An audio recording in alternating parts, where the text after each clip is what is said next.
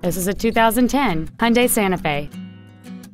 It has a 3.5-liter six-cylinder engine and a six-speed automatic transmission. Its top features include XM satellite radio, alloy wheels, and traction control and stability control systems. The following features are also included a low tire pressure indicator, air conditioning, cruise control, a six-speaker audio system, a leather-wrapped shift knob, front multi-stage airbags, a first aid kit, active front headrest, a split folding rear seat, and a power driver seat.